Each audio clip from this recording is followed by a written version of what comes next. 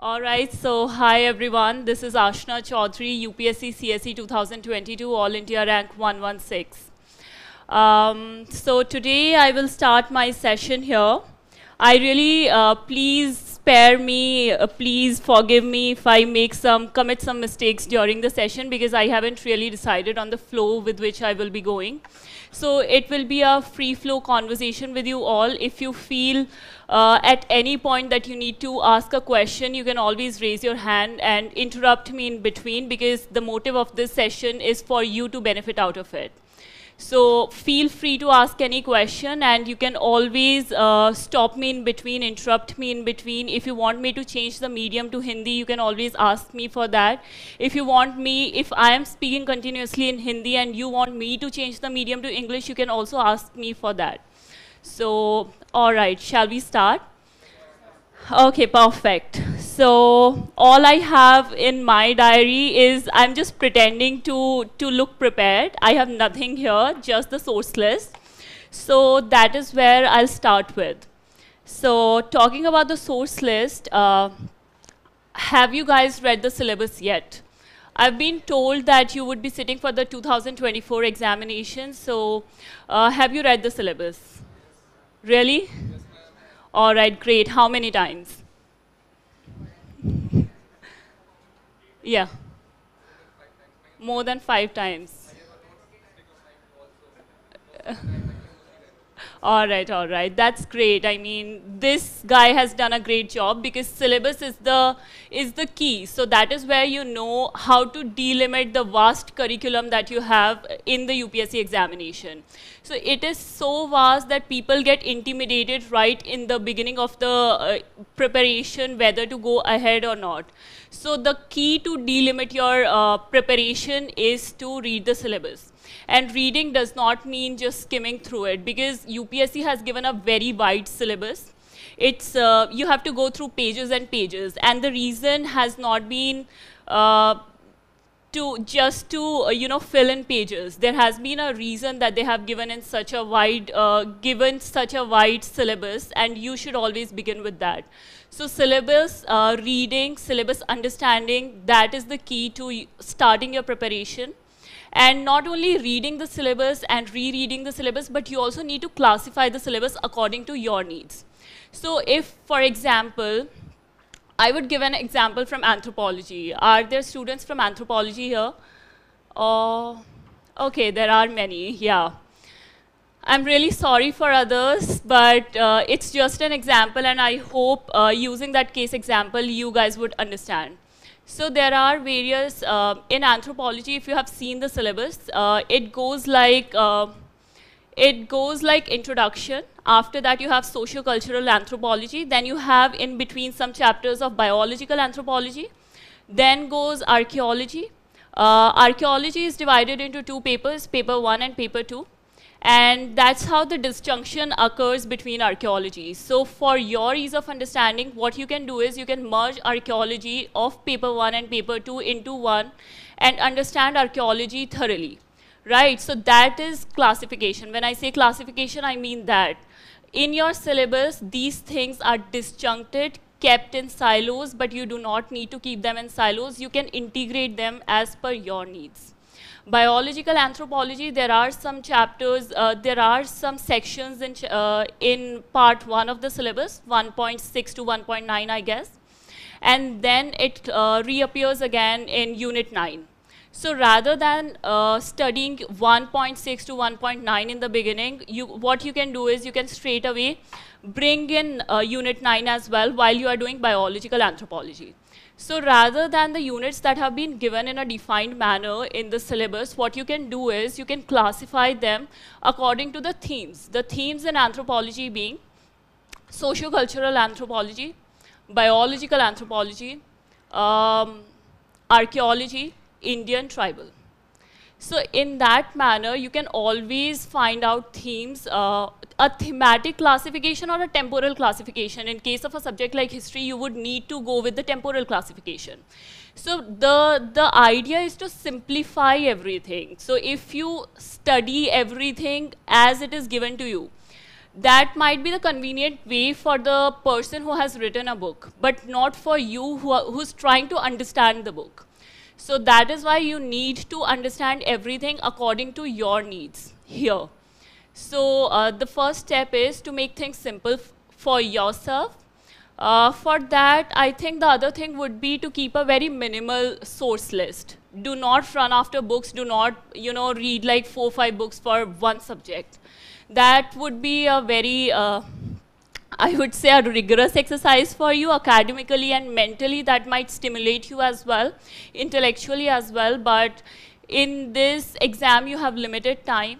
So you would want to keep it limited to what is needed. So the key to clearing this exam is not to uh, is not to read everything under the sun, but to limit it and read only what is required. So you should not only know what to, what to read, but also what not, not to read, right?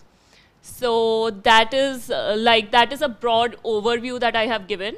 Now coming to the syllabus part of it, there are four papers, general studies papers, GS1, GS2, GS3, and GS4. Uh, GS1 comprises of?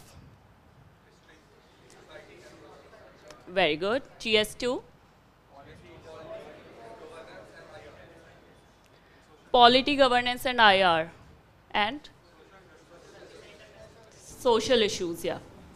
Uh, then you have uh, GS3, which is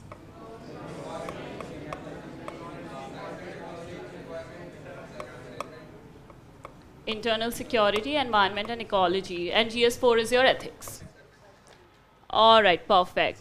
So this is how you, if you already know your, uh, what comprises your GS1, GS2, GS3 and GS4, that is the way to go about with everything. In terms of your current affairs preparation as well, you would not read the newspaper in a free flow.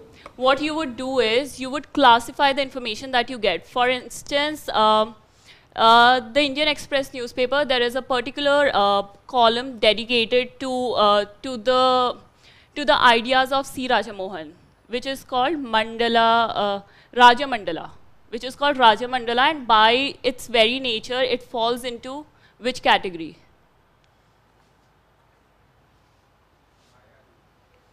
Very good. Yeah, G IR portion of GS2. So what you do is you do not just read it, but you make short notes out of it, crisp notes, notes out of it, and you put them under which head? GS2 IR. So that is what you can begin with. You can always uh, keep uh, different registers for different subjects, or you can uh, take one register for GS1 entirely and then uh, and then uh, uh, decide certain portions of the register for geography, certain portions for history, and the other ones for and the other rest remaining for your society.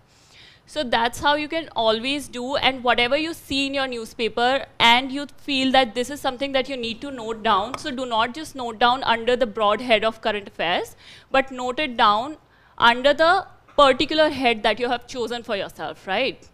So that is, that is a, a beginning and classification exercise.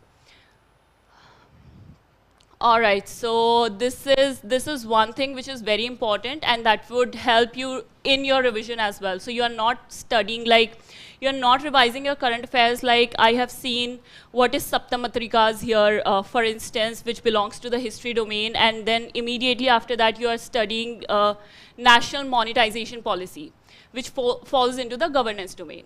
So what you have done is you are reading everything about history at one place, whatever is in current affairs, and everything about international relations in one place. So that is the first step you need to do. So you need to understand where the information is coming from, where it should be kept. So putting information under the right head is the way to start it. That would really help you in revising it later on. Then how frequent the revision should be is another question how many revisions do you need before appearing uh, for the exam? and how frequently they should be done. So uh, you would need uh, at least four revisions before you appear for the uh, real exam for the um, for the D-Day. So you would at least need four revisions. I mean, I needed them. So yeah. And what should be the frequency of you revising? So current affairs, you can always revise in maybe like uh, uh, two months along with your monthly thing. So I would, do not worry, I would also share you my sources of current affairs and how I comprehensively prepared for current affairs because we have seen even in mains the questions are mostly related to current affairs. If you have seen previous year questions of current affair uh, of mains, you would realize that the questions are not directly asked as to what is this. But in light of the current event of this, how would you justify this phenomena? So always the questions are related to the current event. So why do you think UPSC does that? Because they are actually asking you to, uh, to merge the current with the static. So it is an integrated uh, exercise that the UPSC expects you to do. So they are not asking you to, uh, for say, right, I mean, there could be a question which is as simple as, uh, how would you manage a disaster that breaks out due to earthquake? Or there can be a question that uh, an earthquake was witnessed in this area of Delhi, which originated in uh, Afghanistan, recently happened, right? So, uh, in the light of this statement, how do you think we can, uh, you know, do better in the management of earthquake? So, understand the difference between the two questions. They might be seem seemingly, it might uh, it might appear to you that they are asking the same thing out of you, but they are not. In the language that has gone into framing the question, the, they are actually giving a hint of, uh, as to how to answer those questions. So if they have put in current event, then they are expecting you to actually mention something out of that as well. So you would, what you can do is you can always begin your answer with the current data points. And how do you get your current data points? You get them out of newspapers or out of your monthly magazines. So that is why I'm saying that current affairs are something you just cannot divorce from the from your uh, preparation. So you cannot keep your preparation um, static oriented because if you if you begin with what is a earthquake in this question, if you begin by answering that, that was never a question. The question was earthquake management in the light of current events. So you, you need to mention something about the current event. And if they have already mentioned the current event in the, in the question, it limits your chances because now you cannot mention that event. So what do you have in hand? You have the data point in hand to show the examiner or the evaluator that you have actually understood the question. You have actually tried to answer the question, keeping in mind the current event. So that is why your current affairs preparation becomes very important. Now, how to prepare for current affairs? In order to prepare for current affairs, I can share uh, with you my strategy, which has been very comprehensive, and people have told me this, that it is very difficult to follow the same. But I would share it with you along with the time I used to give to every component. So my day would always start with a newspaper. I would read the news, I would leave the news which was not very relevant. If uh, there is a news item which comprises of names and uh, personal items, you can always skip that. And if it caters to certain broad strategy, you can always pick that up. So when you are uh, reading the, the newspaper, classify it, as I've already told you, under the heads as to where the information belongs. Uh, make short note about it, crisp, very, very crisp. For instance, if you're talking about, uh, say, national monetization pipeline and you see, okay, which ministry is doing it, you can always mention that. What is the allocation? It's uh, approximately 6 lakh crores, if I'm not wrong. So you can always write that, right? So that is all you need to write. You do not write down the entire editorial. You just write pointers and uh, maybe two or three sentences. You end it. So that's how you begin with your newspaper, which should take you about 30 to 35 minutes, not more than that. Uh, knowing what to be, what is to be read and what is not to be read. followed by newspapers. You can always uh, go with, uh, so you have a coach, uh, so do you have access to the daily portal of the coaching? Yes, so they must be sharing daily news items, right? How many news items do, do they share daily with you?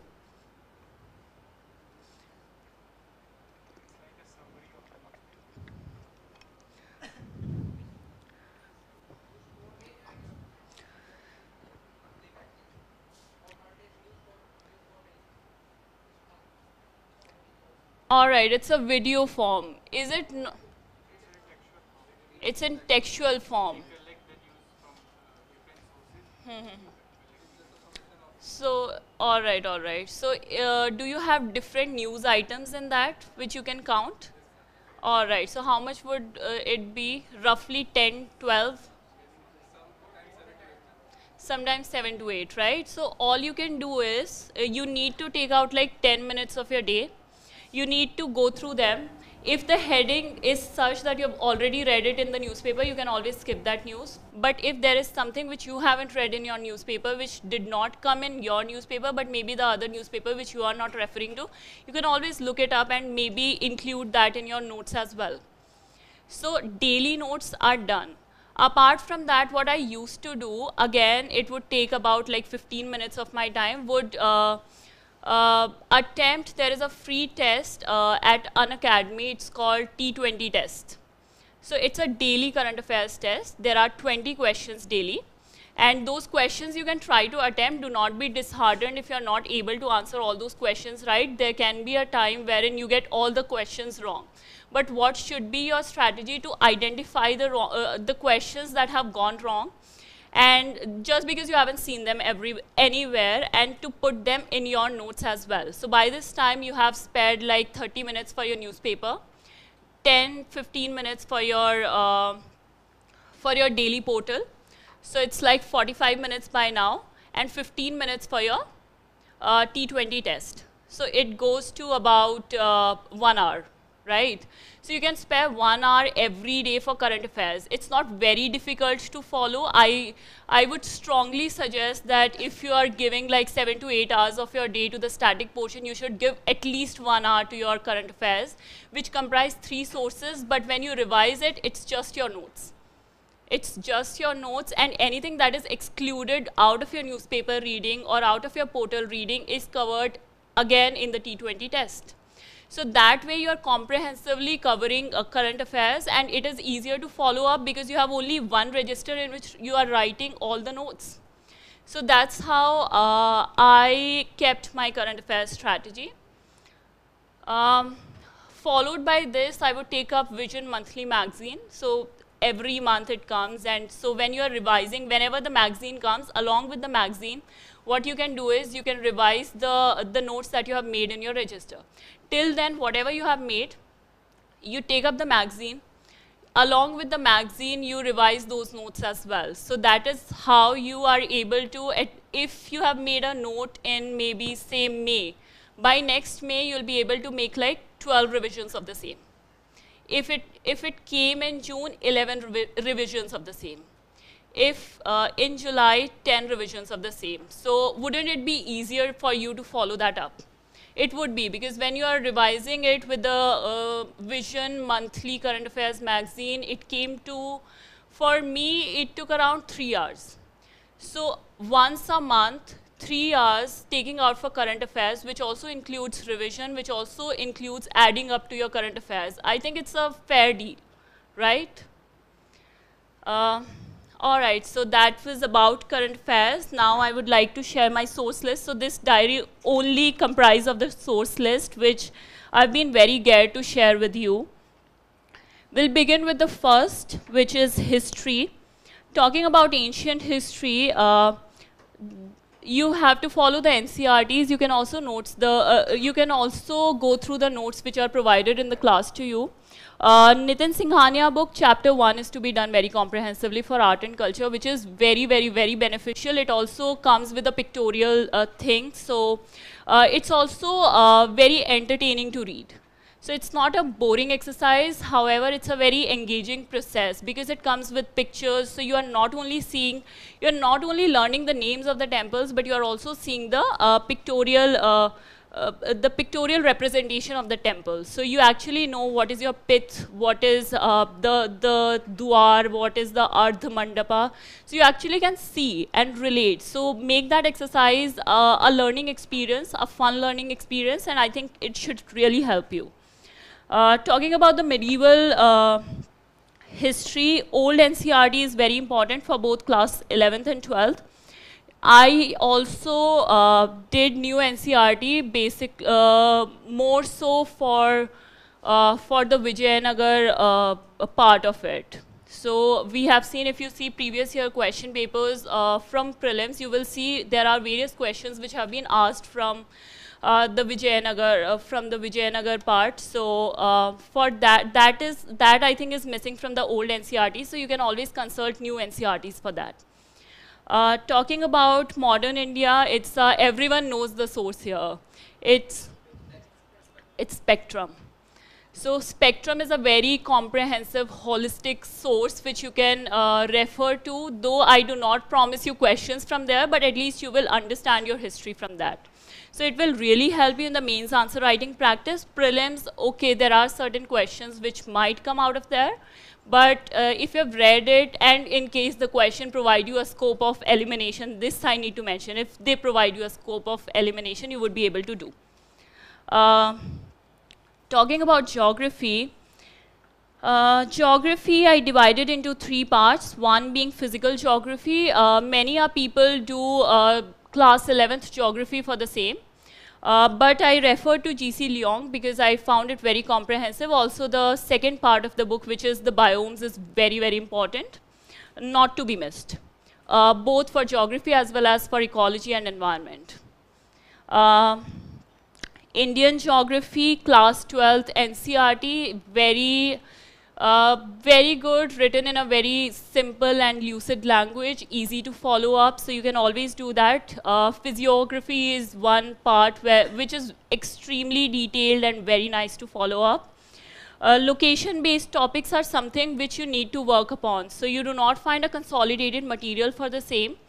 Uh, location-based topics, you can actually uh, search for various industries, for instance, iron and steel industry on YouTube and a, and a video crops up and you do it from there. Or you can follow this source which uh, I have used very extensively, which is called EPG Pathshala. So these are the government colleges uh, master's classes uh, which are conducted on EPG Pathshala. So it's a very comprehensive source. Do not make it very comprehensive. Just use it for understanding purposes and uh, draw out certain points uh, out of that. Uh, society, again, I have done comprehensively from EPG Pathshala. For instance, if you see your syllabus and the topics in society, for, uh, for example, if there's religion. So what you do is you type religion on YouTube along with EPG Pathshala. So religion, EPG Pathshala, you'll get an entire lecture out of there. The lecture would be around uh, 1, 1.5 hours and everything, it covers everything that is required for religion. So society is one subject which doesn't come very much in uh, prelims, which you need to do mostly for mains. And uh, I think there is no, no other comprehensive source than EPG Pathshala that covers society in that way. So it's a very easy thing. Society broadly, there would be around uh, 10, 12 topics which you can cover in like if the video, for example, is for one hour, you can do it in like 10, 12 hours again. Uh, GS2 talking about polity, you know the source again, it's Lakshmikant. Uh, ARC2 report. Uh, you can uh, follow the entire report or you can follow the summaries which are available in the market. Pavneet Singh sir, I think, has released a summary of the same. So you can follow that up. Though I haven't read the summary, I read the entire report, but uh, not the not in detail, but maybe the headings of the report. So as so as to understand what the report is trying to say. There is another source which is, and this is mainly for mains. So do not do ARC2 report for for your prelims. It's mostly for mains for your way forward part of the answers. And uh, so not only about the ARC report, but also the Vidhi policy for legal uh, research. That is what I followed for my uh, way forward Wala domain. So there is Sarkaria Commission report. There are various reports that you would need to follow up in polity in order to be able to write a good answer. So uh, along with Lakshmikant, Lakshmikant really helps you at the prelims level, but for the mains level, I think you really need to do those reports. So find them up. They are available on internet. The PDFs are available. You wouldn't need to, you know, spend a penny for that. You can easily find the, just Google the reports and you'll get the entire PDF. Uh, governance EPG Pathshala again. So type NGO EPG Pathshala on YouTube and you'll find an entire lecture on NGOs. And you can always take out whatever you require out of there. So if you do that, if you uh, if you type all your topics on YouTube along with EPG Pathshala, so you get one hour lecture for the same. You're able to complete the entire topic in like uh, 12, 13 hours, which can be like easily divided into maybe uh, six days, two hours per day. Not very difficult exercise to follow. And all you'll have is a write-up of, of, about uh, 15, 20 pages. Easy to follow up mains you don't need to do anything. All you have to do is just read that up. And how do you update it? You update it with whatever comes in the newspaper. For instance there is an ngo which has been highlighted very much in the newspaper these days. What you do is you take out your section on ngos wherein you have uh, a write-up ready for your ngos and wherever you can put in use that as an example talking about social issues, uh, newspapers are a must here. Then there is a show on Rajya Sabha TV which is called The Big Picture. You can always identify the social issues out of there. Do not see the entire show, just see which issue is likely to come uh, in this year's mains. So you know the, the theme of the, the theme of the uh, episode for that day. So you identify that theme. For instance, they're talking about sanitation workers. So you know one of the social issues based on uh, the problems of sanitation workers or uh, safai karamcharis. You note that down and then you find a write-up somewhere on the internet about the same. So social issues is one topic which is very current oriented. So just identify what are the odds of this topic coming up and uh you know search it on maybe some forum. Talking about international relations, Ministry of External Affairs, uh, there are various write-ups which are divided, which are already classified into themes. So it's easier whenever you get a whenever you get a question on, uh, mm, say, bilateral relations. What do you do? You have a structure of your answer ready. You divide it into geopolitical, geo-economic, cultural, energy-related, and international organizations that both these countries share. So now you have five points ready. All you need to do is, based on the country, you need to uh, change the substance under these five headings. So for international relations, if you get a question related to the bilateral relations, what you do is you already make your five headings ready and the write-up or the writing material which is to be done under these headings is to be changed according to the country. And how do you find what is to be written with respect to that country? You find it on Ministry of External Affairs website. Uh, then there is also a show called Rajya Sabha TV India's World, which is very, uh, very informative related to um, international relations, which you can also follow, but that's optional. Uh, talking about GS3, so you have environment and ecology, which is very, very, very difficult for, uh, for students to follow a single source for the same thing. Uh, there are various that follow a Shankar book for the same. And, uh, but I did not follow that. So I, I picked up a book which is uh, very, uh, which is uh, slightly less bulky. it's one by Vaishali Anand ma'am. So I picked that book up in order to clear up my basics, but that doesn't help you very much when it comes to prelims. So prelims, uh, environment and ecology is mostly current oriented. So here you need to focus on your current affairs, which you have already make notes of. Uh, the big picture, there are various environmental issues which are also highlighted in the big picture by Rajya Sabha TV, so you can always note them down. And uh, find a, a write-up on the same either from Google or YouTube or wherever you find it. Uh, economics, it's easier to uh, do your economics by dividing it into four domains, one being fiscal, the other being monetary. Uh, then there is infrastructure, and then there is development.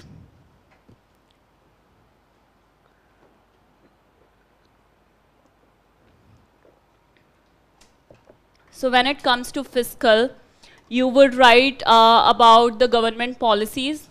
You would write about the fiscal health of the country. You would write about the various deficits in the country and how the problem can be solved. When it comes to monetary, it's mostly related to the banks, what ails a bank in the country, what is the solution for improving the banking sector. That's how you can go about it. Infrastructure, again, it comes about a lot, lot of things asset monetization is a part of infrastructure. Infrastructure would be development of roads. What are the schemes that goes on into development of roads, railways, everything comes into the infrastructure domain. And the fourth one is development, wherein comes your problems of unemployment, problems of uh, um, labor force, uh, low, uh, low uh, women participation in the labor force, so all these problems come under the development domain. So when you have uh, divided your entire economics into four verticals, it again becomes easier for you to follow it up. Uh, here the sources would be economic survey for your budgetary, uh, for your uh, problems dealing various sectors, budget for the various allocations that the government has made and the various schemes that the government has made in this regard. For instance, if there's a question on textile sector, you find in the budget that there's a scheme called PM Mitra. And you can always use it. It will, uh, uh, it will add value to your answer, definitely. And then newspaper, the again, the various schemes that are announced are mostly uh, announced in the newspapers as well or are covered comprehensively in the newspaper as well. So your, your notes would already have them. Uh, next being internal security. Again, you need to identify the basic topics of internal security such as cyber security, border security, then integrated border management. These are some of the things which are uh, which feature uh, year after year. I mean, I, we have always seen a question on cyber security from 2013, there hasn't been a single year that a question on cybersecurity has not come up. So cybersecurity becomes an extremely important domain when it comes to internal security and you really need to do it. For this Vision IAS material is crisp, crisp and should do, right? Next being your disaster management here you need to do your NDMA guidelines. There are NDMA, National Disaster Management Authority, they issue guidelines. So what you do is you see those guidelines, do not uh, do them very comprehensively, divide them into three verticals again, what you should do before disaster, during disaster, after disaster. So before disaster is mostly pandemic preparedness. During disaster, it's mostly response. And after disaster, it's recovery. So you divide your uh, your course of action into these three parts. Uh, pick up few uh, pointers from NDMA guidelines. Do not do it comprehensively. Every point you do not need to remember. Just know if I'm writing before disaster. So in terms of a cyclone, what would I need? I would need shelter belts. That term shelter belts you would get from NDMA guidelines. And just write it there. This is one point. So you can, for all these three uh, steps, you can take two, two points each and that would help suffice. Uh, science and tech, talking about science and tech, here in your current affairs become very, very, very important again. So whatever is in the current affairs or the new technologies that have come up would are likely to be asked here. So for instance, chat GPT is very much in news. So there might be a question as to uh, what exactly it is, what are the advantages, what are the challenges, and how would you uh, what would be the way forward uh, going about the same. So uh, that is how science and tech is mostly about the recent technologies. Nanotechnology comes up here. Quantum technology comes up here. So main question are mostly questions are mostly along those lines. So when you prepare a question, you find out about the technology which has been very much in news or has been introduced recently. You uh, you prepare an introduction for the same as to uh, what the technology is. It always starts with what is it.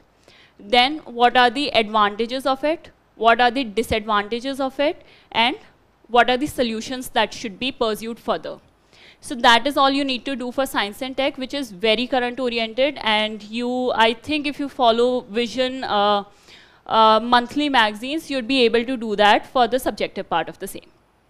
Uh, GS4, this is very difficult, like very, very difficult, but an exam that can make, uh, make it for you or break it for you. So yes. So talking about GS4, the theoretical part of it, I followed S. Ansari sir's video for the same. He, uh, he works in Lukmaan IAS. And if you look up the videos, you'll find them either on Telegram or YouTube very easily. And I think if you, uh, if you follow them, it would be easier for you to do the theoretical part of it, or you can always follow your class notes for the same. Uh, then uh, you always supplement it with the examples. And where do you get the examples from? Again, from your newspapers.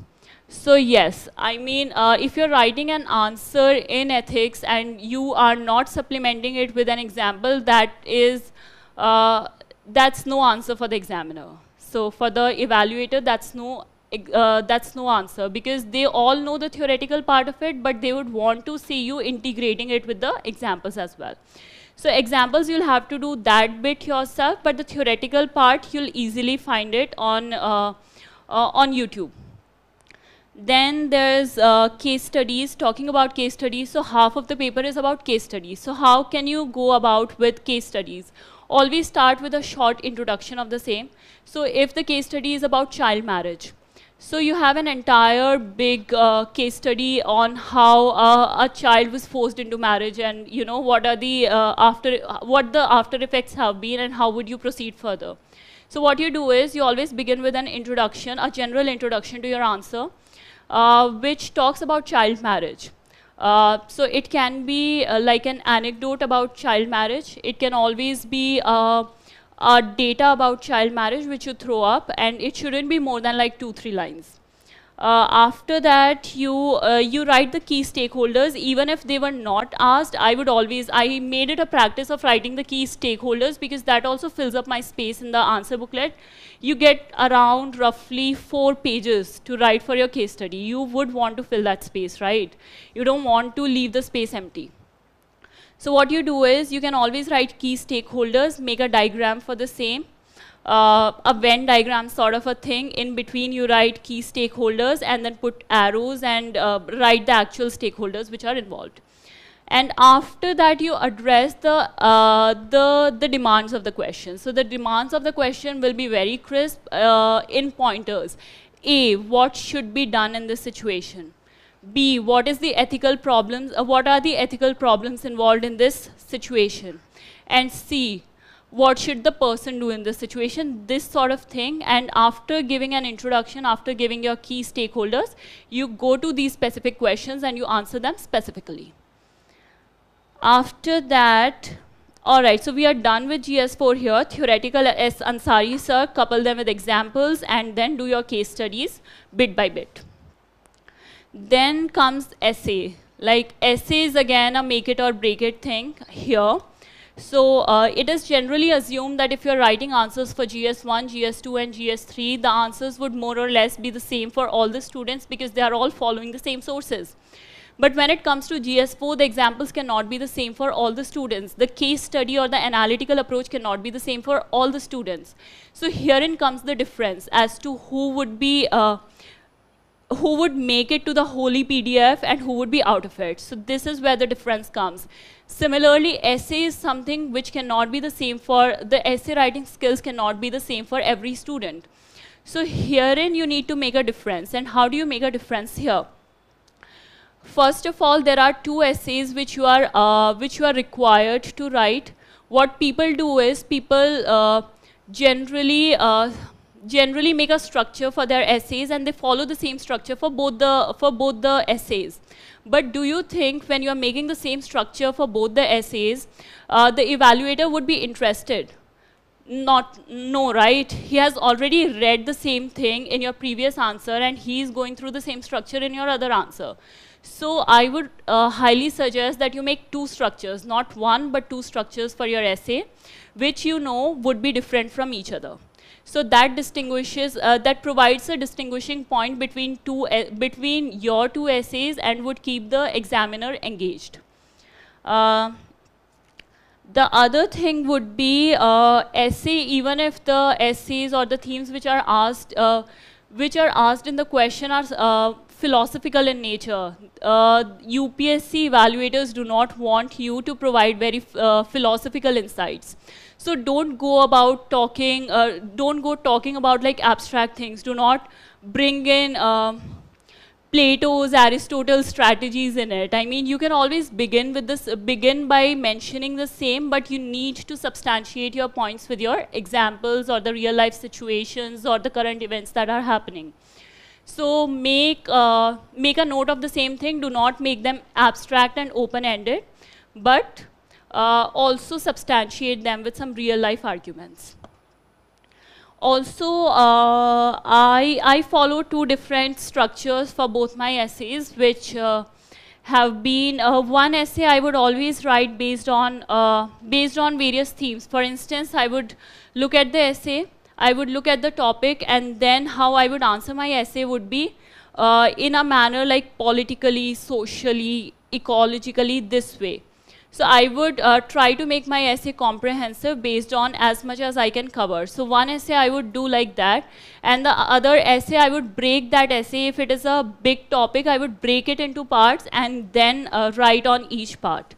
So that is just an example of how you can, uh, you know, uh, provide a distinguishing point between both your essays. Um, anthropology, if I may. I mean, do you really uh, want to know about anthropology or if I may skip that part? Depends on you.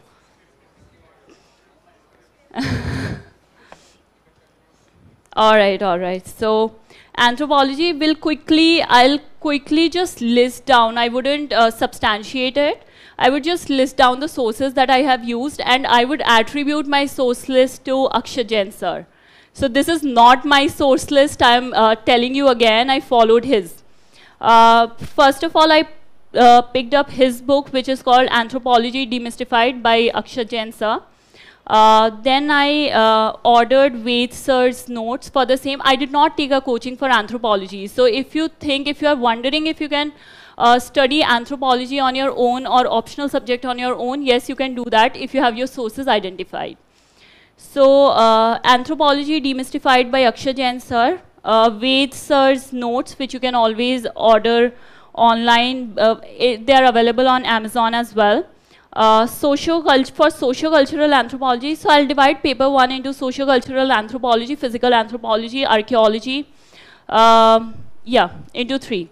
And socio-cultural anthropology, uh, there is a book called In Search of Ourselves by uh, Ved sir, so you can always refer to that. History of anthropological thought, Upadhyaya and Pandey, very, very important, but that can be, uh, but that can, you can also find the, the crisp, uh, the, it in a crisp form. So it's a very bulky book. It's about 300 plus pages. You, if you're not able to read that, what you can do is you can read this anthropological theories, which is the sixth unit in paper one from uh, Akshay Jain sir's book, which is called Anthropology Demystified, and he has done it, he has comprised it into 40 pages. So 300 pages versus 40 pages, the choice is yours. So, yes, uh, it's Sociocultural Anthropology in Search of Ourselves by Ved sir, History of Anthropological Thought by Upadhyaya and Pandey, or uh, Unit 6 of Anthropology Demystified by uh, Akshay Jain sir. Uh, physical anthropology, if we talk about that, then there is a book called uh, Physical Anthropology by P. Nath, which is very, very, very good in terms of your molecular aspects or your cellular aspects. It is very good book. So you can always refer to that archaeology there is uh, a book by dk bhattacharya which is by far the best book on archaeology which will help you for both archaeology in paper 1 and archaeology in paper 2 as well. Uh, it's by dk bhattacharya an outline of indian prehistory. Amazing amazing book to follow up. And it's also very uh, it's not a very bulky book. So bahut choti book hai wo it uh, comprise about 60 pages. Can be easily covered, like easily covered in three days if you uh, study for about six to eight hours per day. Uh, then come to paper two, you have Indian anthropology, which uh, the, the, the book itself is called Indian Anthropology by Nadeem Hasnain, and then you have Tribal, Tribal Sphere again by Nadeem Hasnain. Uh, then you can always supplement them with, uh, with certain, if certain topics you are not able to find in these sources, you can always search them on EPG Pathshala. So again, what you do is you write the topic which you are searching for, and then you do EPG Pathshala, and you'll find an entire one hour lecture on the same. And then you can always follow some test series. I've been told that Vision IAS is starting with anthropology test series this year. Uh, the one that I followed was L2A. And uh, so they always evaluate, uh, evaluate your answers and after evaluation, they actually release their uh, answer key for the same. So those answers you can also follow up. Those are also very great. And when it comes to anthropology, I would highly recommend that you uh, do the previous year question papers from about 1990 because the, uh, the subject is not very current oriented, it is kind of static, and we see repetition of questions year after year.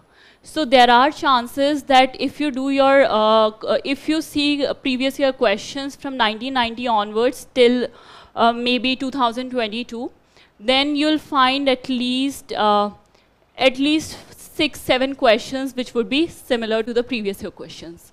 Uh, so that is all about anthropology. So this has been a very detailed subject-wise uh, source list. I hope it will help you guys.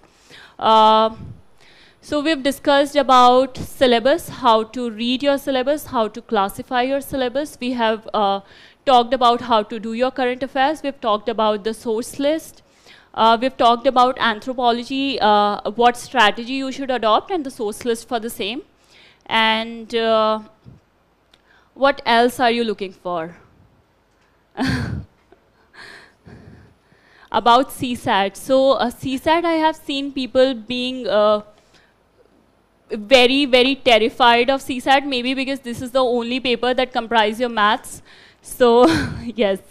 All right. So do, do not worry because uh, do not think that it only comprises of maths. It comprises of maths, comprehension, and uh, reasoning as well. So I was talking to, just a minute. So I was talking to Anubhav sir, Abhi, he took a session with you and he said he has never attempted maths in CSAT.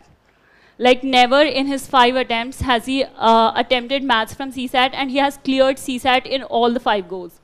So if you're terrified of maths, don't be. Uh, just make your comprehension strong. And if you do only comprehensions, then you're able to attempt for, for example, uh, 36, 37 questions out of CSAT and reasoning, I think you'll be, you're good to go and you'll be able to clear. But the, but the condition is that your efficiency is very high in these. If you're leaving out maths, make sure your comprehension and your reasoning is very good. And in maths, if you want to, uh, you can always identify the areas where the questions always come from. And what you can do is, uh, where, uh, from the areas where repeated questions come from and uh, where you can easily and directly apply the, the formulas, try to uh, target those questions. So learn about uh, 15, 20 formulas and go to the exam. And even if you're not able to attempt maths questions, uh, make sure you do your comprehension and your reasoning great, and I think you'll be able to clear.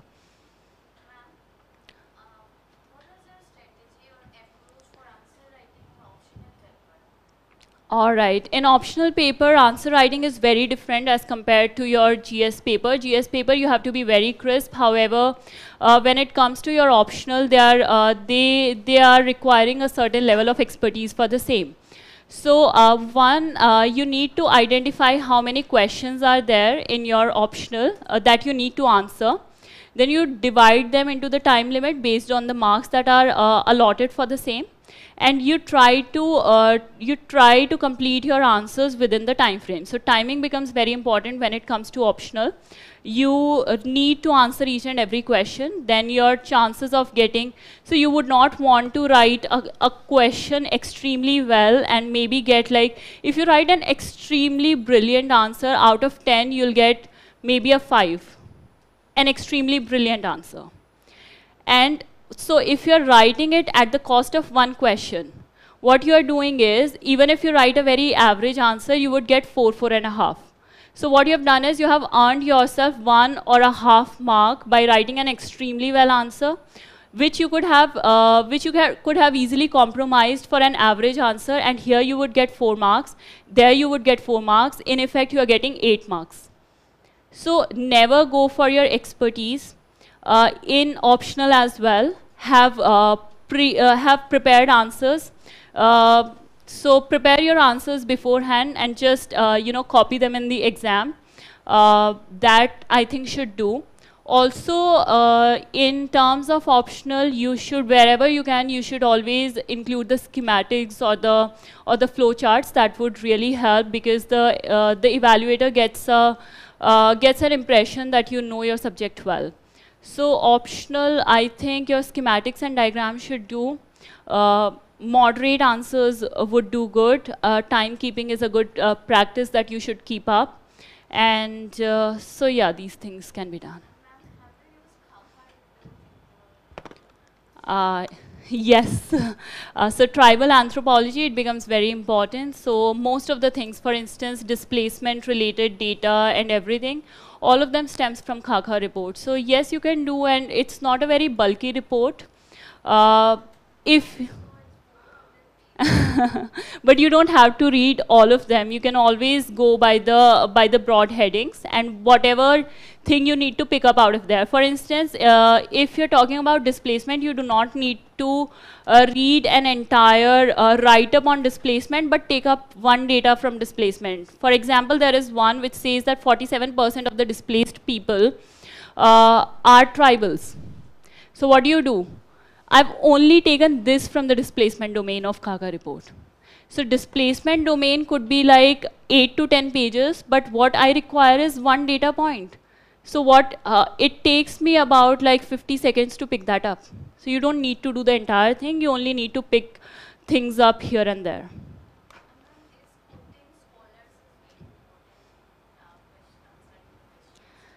Uh, that you will learn. Uh, when you actually, uh, when you do your anthropological theories, you'll realize the importance of quoting scholars and you would actually be able to remember all of them.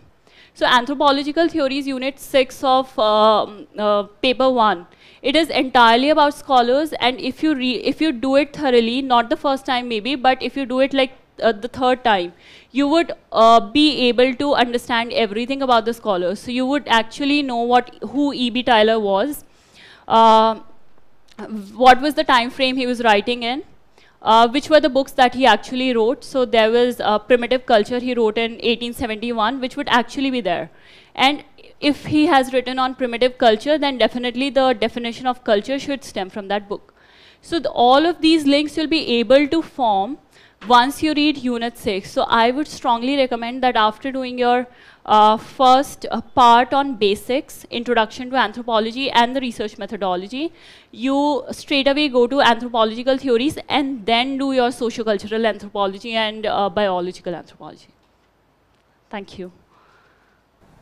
Ma'am, how much time it takes you to complete your optional? As you stated that you uh, completed your optional without taking any coaching, so and having no background in anthropology. As anthropology is a subject which no one having a background in that subject. So how many hours and how many months it will take you to complete that? Uh, for me, uh, it took because anthropology is a subject that uh, you do not require much to supplement with the current uh, studies. So uh, you can easily complete the subject in three and a half months, provided you study it every day for around eight to 10 hours.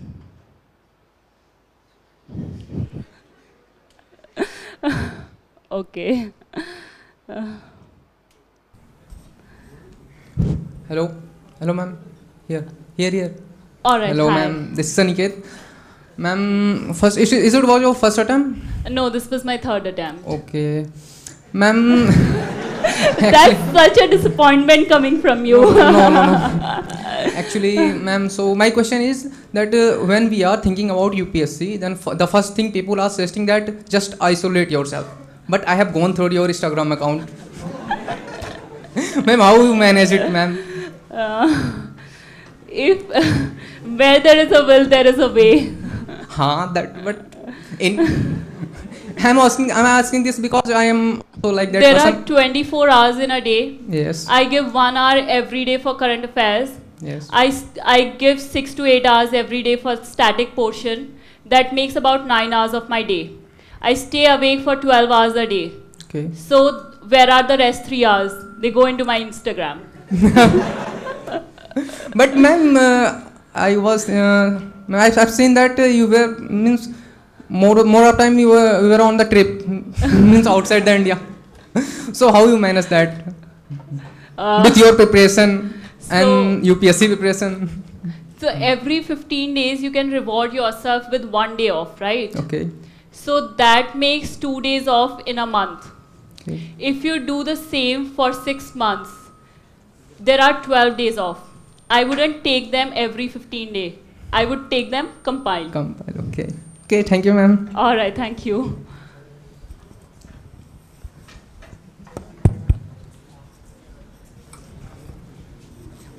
Uh, hello, ma'am. Uh, just a minute. Just a minute. Yeah. All right. Yeah.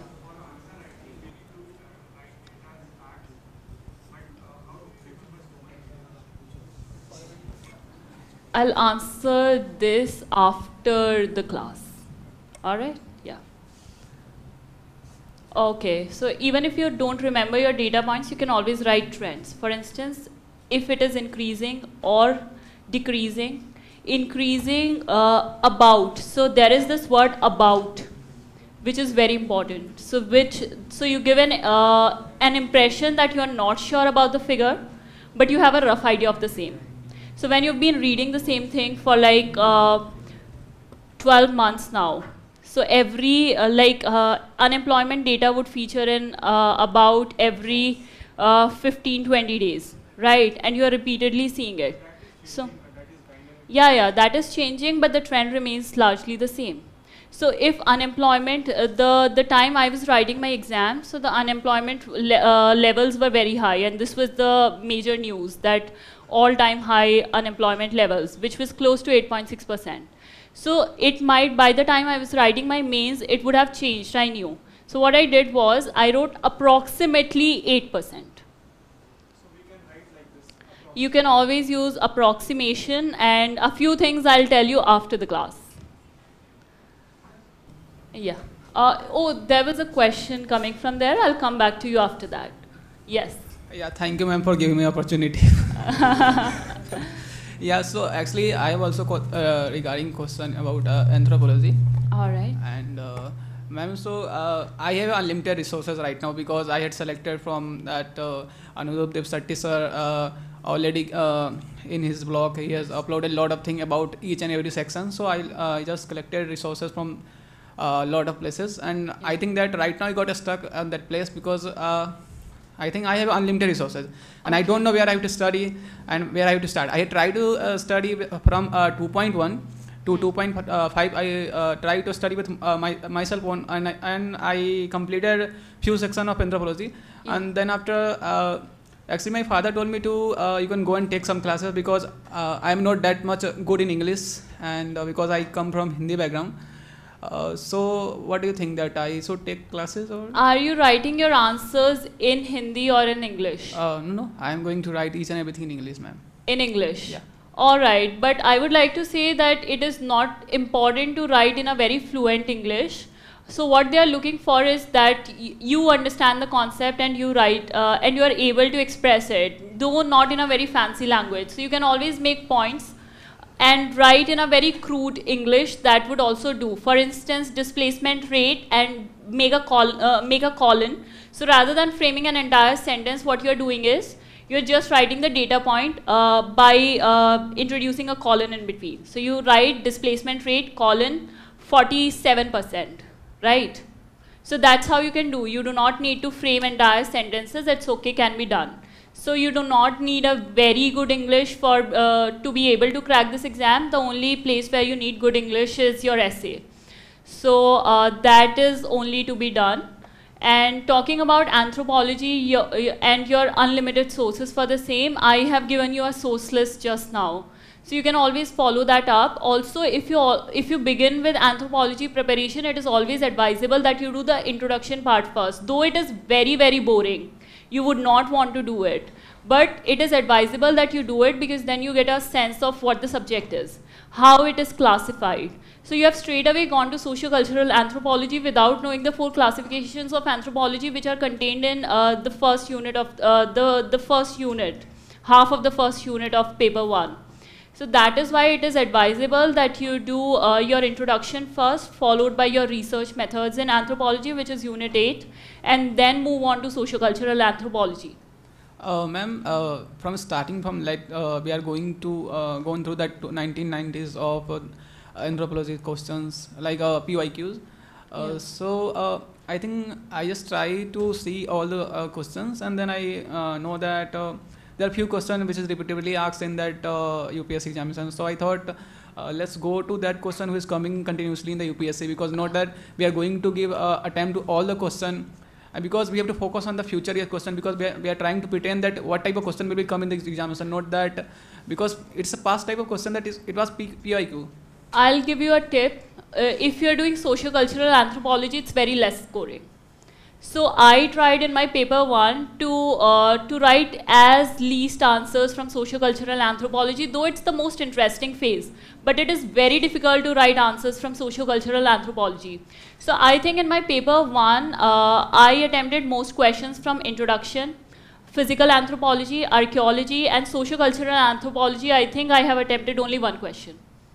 So when you actually write your test series, that is the time when you'll be able to identify which is the area you need to focus more rather than the questions that have come up. Because in uh, in optional, always remember there are uh, you have a choice which is absent in your GS papers. So if you have a choice, exercise it. So there are various domains which you can neglect, though the questions have been repeatedly asked from there because they would be optional for you to attempt, right? So never go by that trend.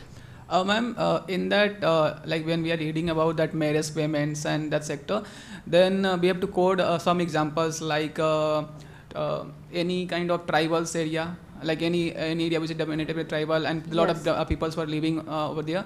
So we are going to uh, give examples from there. So uh, we search on the google and try to find that so uh, could you suggest me any kind of sources that where we can get a lot of tribals which is related to such as, such as polygamy uh, uh, this kind of marriage where it's happened in the nigeria africa so such kind of this place. can be managed in your classification. So there is a there is a chapter on classification of tribes in Nadeem Nadeem Hasnain itself. So he has uh, classified the tribes in various manner. For instance geographically he has uh, classified the tribes. Linguistically he has classified the tribes. So from there you know various tribes.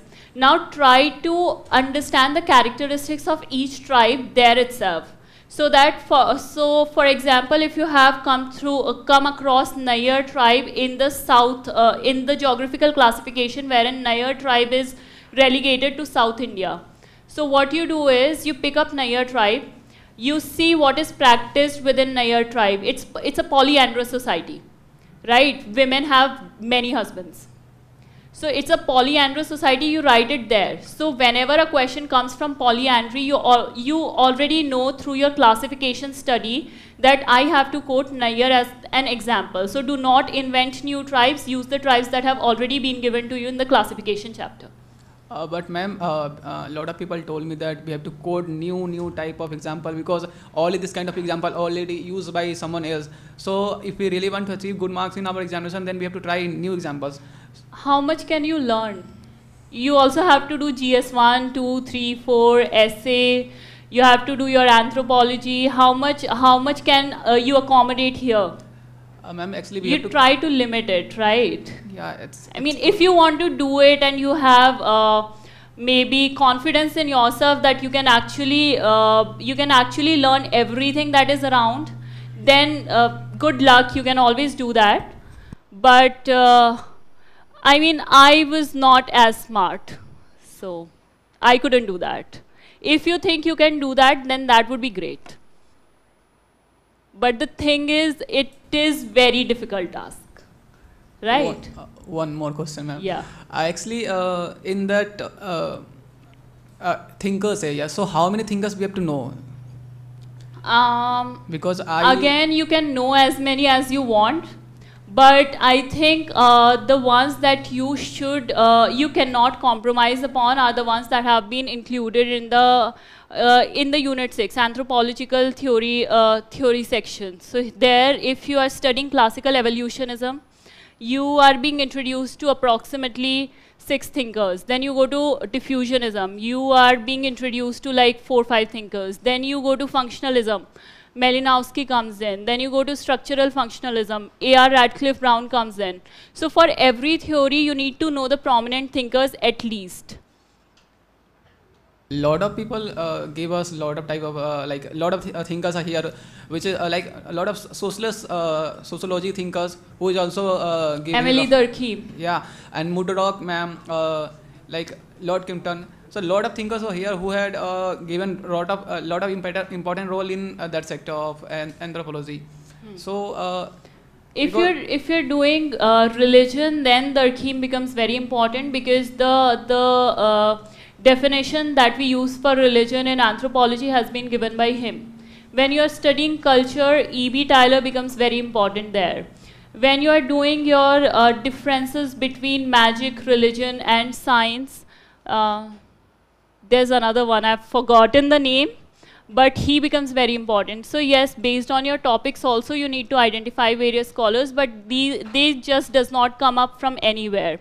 So uh, durkheim i know is not taught in anthropology that much and has been imported from sociology but when you see E.B. Tylor when you study culture you are not only studying E.B. Tylor you're studying malinowski and both of them have been given uh, their due importance in unit 6 as well right followed by uh, followed by magic religion and science. I forgot the name but this person belongs to classical evolutionism school which is also covered in anthropological theory. So uh, if you can identify a lot of people that you can converge in your uh, study that would be a brilliant exercise to do because that way you get to uh, remember less and you would be able to write uh, a decent answer if you try to incorporate everyone who has spoken on the subject, then it becomes a very difficult exercise in terms of remembering them, also in terms of being able to incorporate them in an answer which comes uh, with a limited word,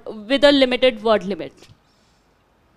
lesson uh, which we don't uh, do in that sector because we are preparing for that uh, optional uh, subject. So any suggestion like, like uh, which we don't do while preparing? Because we thought that uh, we have to do this this this because uh, we want good marks in we want more marks in that examination than we will achieve uh, how, how many more marks? I, I already told her that if you write a moderate answer, you'll get four, four and a half marks, and if you write an exceptionally great answer, you'll get five, five and a half marks. One or 0.5 marks. Would you uh, would you go through like 15 scho- scholars for one uh, in order to be able to increase one 1.5 marks, which uh, one or 0.5 marks, uh, which would take up about uh, about like four five hours of your time just remembering those scholars and then again four five hours of your time every subsequent uh, revision. Or you would just let it go and try to uh, try to uh, see a broader picture and cover as many topics as you can because you'd be able to write more answers then got it I mean, this is this is what I uh, this is how I think. I am a very calculative person, so I would calculate each and every second that I'm sparing. So, if you are not such and you think you need to understand the subject to the level of PhD, doing being able to do a PhD in the subject, you can you are always welcome to do the same thing, right? So it always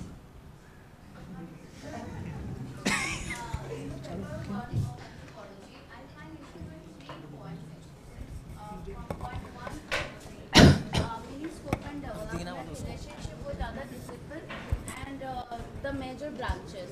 So can you please uh, tell me some uh, best resource for these two points? for these three. go back and go through to complete this theory points. Actually, I find very much issues in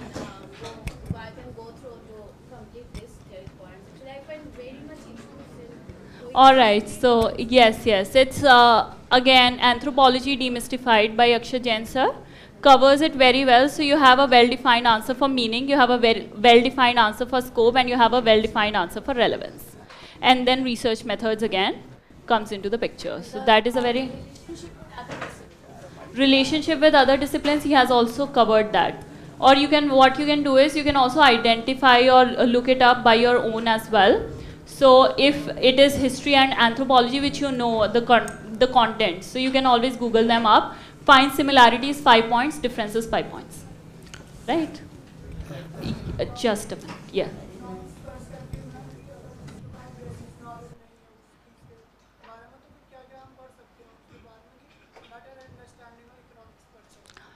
Economics perspective में अगर आपको basic knowledge चाहिए तो Shankar IAS की एक book आती है उसको आप रेफ़र कर सकते हैं।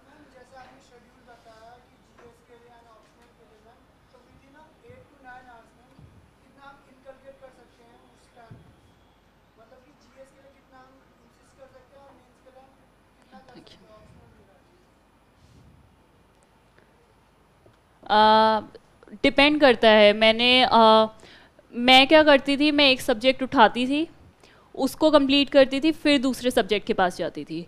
तो अगर आपको अपना डे डिवाइड करना है कि आपको थोड़ा सा ऑप्शनल पढ़ना है थोड़ा सा जीएस पढ़ना है तो आप 50 50 भी डिवाइड कर सकते हैं और 60 40 भी डिवाइड कर सकते हैं, जिसमें 60 आपके ऑप्शनल में जाना चाहिए।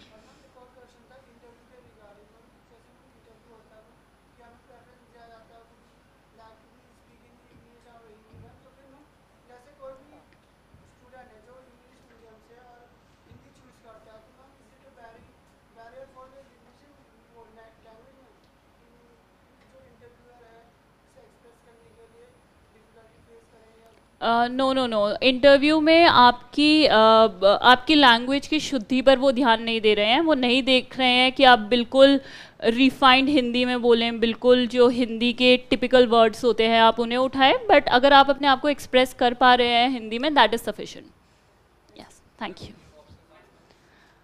optional I scored 141 in paper 1 and 144 in paper 2 so uh, in effect it's 285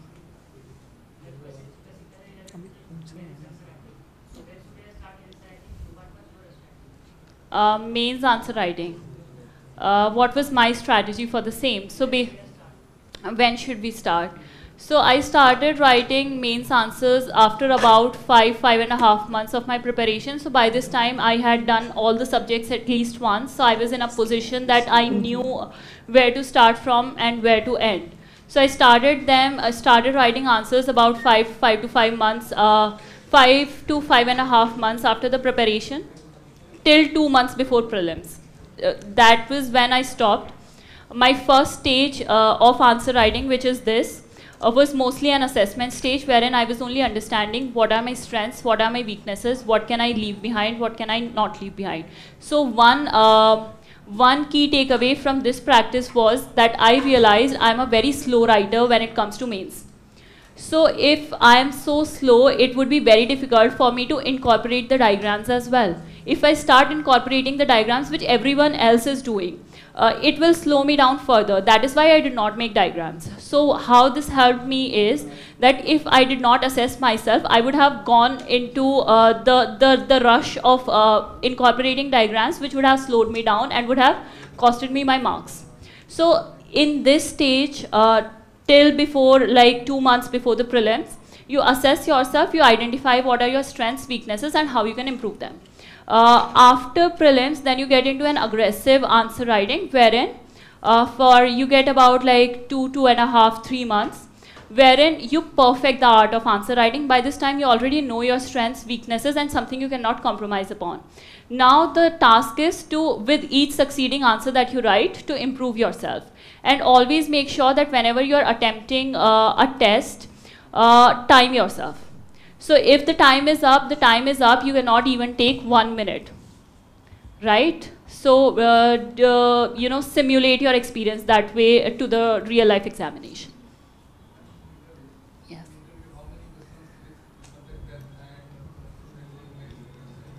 in interview there are mostly questions all right so i'll, I'll tell you uh, specific questions that i faced during interview so interview questions are mostly related to your daf uh, and to the current affairs. So these are the two prominent areas where the questions come from. Daf and your uh, current affairs. From your uh, so the first question that was posed to me was based on what my name means which comes directly from my daf because my name was on my daf then I was asked about my hobby, which was again on my DAF.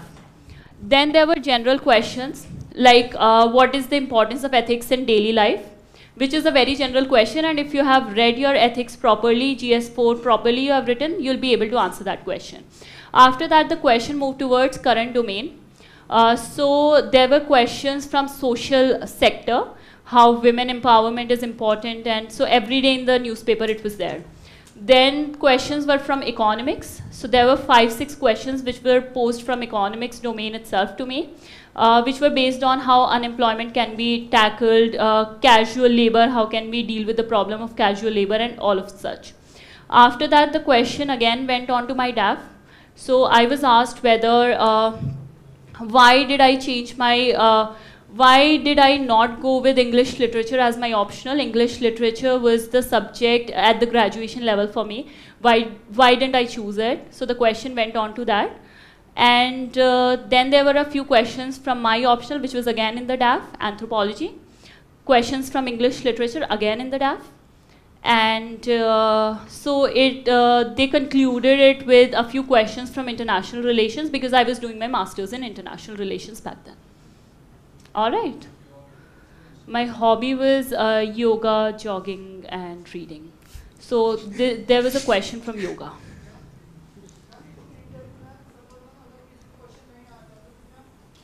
Say, uh, I'm sorry, sir, I'm unable to recall.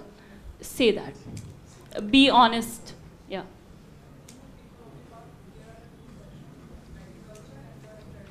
Yes, yes.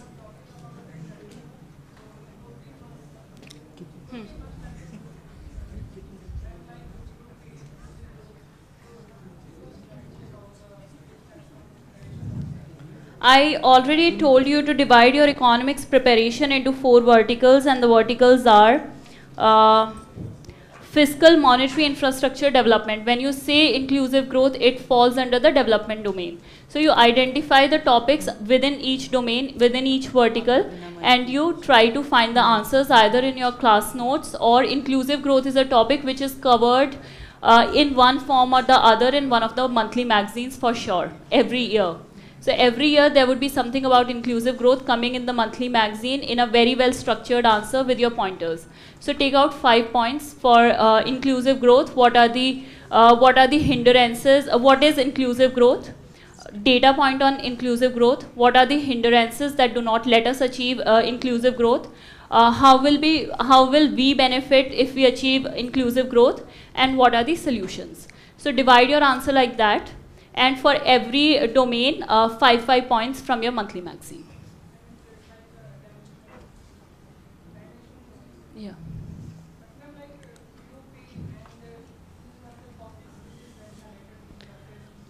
Uh, what?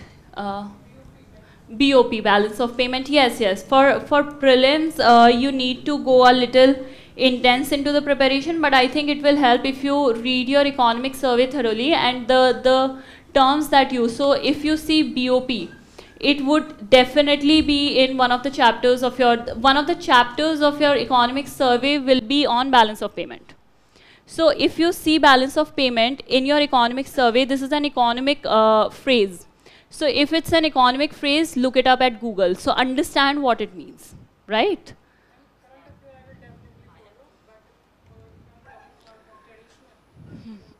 A Shankar IAS uh, book on economics.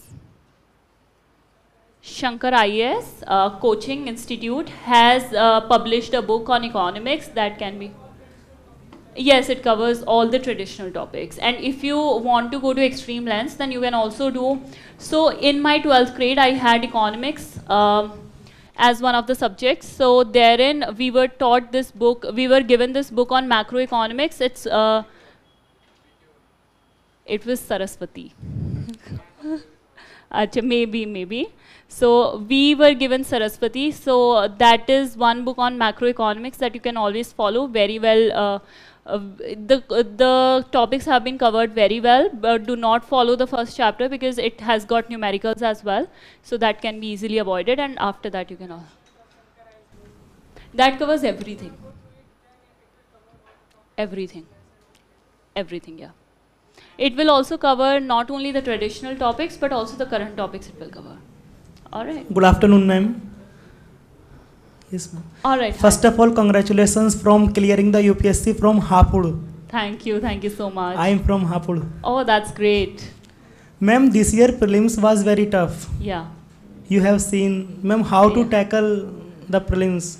Uh, how to tackle the prelims? Uh, go on with your traditional approach. Read every subject. Do your current affairs well. Practice, practice, practice. Because till the time you do not practice, your knowledge uh, cannot help you out, right? Ma'am, I gave approximately 35 tests, but uh, the options are very difficult this year prelims. How to tackle? Exactly, exactly. I'm coming on that.